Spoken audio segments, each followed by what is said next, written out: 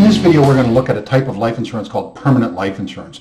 If you recall from our previous videos, permanent life insurance is defined by a policy that has premiums that are level for life.